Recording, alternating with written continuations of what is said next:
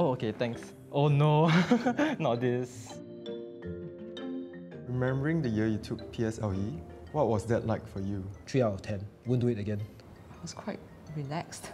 Firstly, I, I think the concept of having a national exam when you're 11 is kind of crazy. The whole year you're like rushing, and then towards the end only the results kind of mattered.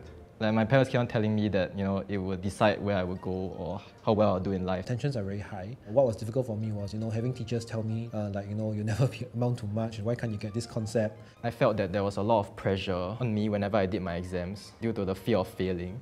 Now that you are in university, how important are grades to you now?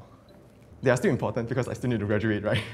but along the years, I realized that they become less and less important, or rather, there were other things that I was more interested in.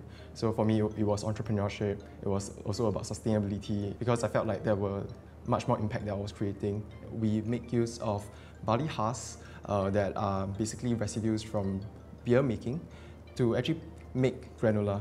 So I, I didn't like the way um, my school portrays information to us, right? Just they just send you slides and they say, okay, these are the slides. Go and learn this. So I always try to find ways to to enrich my learning. And I was very interested in technology as well and how technology can make the world a better place. And we went down this hackathon route. Every day you throw away bins and bins of food. Right, so I'm thinking, how can you use data analytics to predict how much food is being produced or required? One thing that I love about university is you can be on very, very close terms with your professor. And this gives you a lot of opportunity to learn more from them. I had a casual conversation with my instructor in the lab, and we are just talking about like our interest in fermentation. Of course, we generate a lot of food waste here in Singapore, and you know the best way to get rid of it is to make it something more useful. And it just evolved into this project. We use this underutilized uh, soy pulp known as okara. Uh, it's that fibrous waste that is produced from soy milk. We actually ferment this soy pulp into something of much higher value, something that people can actually consume and enjoy. I've never thought that I would be an entrepreneur. I think even from secondary school, I was already thinking that you know I would be um, in government. It's only when I was in university and got exposed to a lot of things that I was never exposed to in Singapore, um, especially in sustainable food systems. I see entrepreneurship as the most effective way of, um, of tackling a huge problem in Singapore. I happen to know a couple of businesses that were throwing away a lot of food, and I just couldn't stand it. I, I just had to create uh, these ecosystems where good food is recovered and redistributed.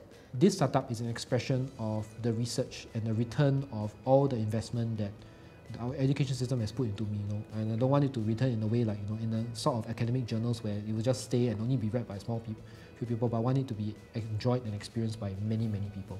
How has learning changed since joining university? There's no textbook answer for this. There's no, you can't flip to the end and the answer key is behind. When running our trials, we were constantly facing failure. Through our failures, we are able to constantly improve our product. And when we received the news that, you know, yeah, DBS wanted to support us in this endeavor, that really gave us the confidence to uh, pursue it further. We do not know how to operate in this business world, but we can learn, you know, and we shouldn't be afraid to learn. There's not one more failure among so many.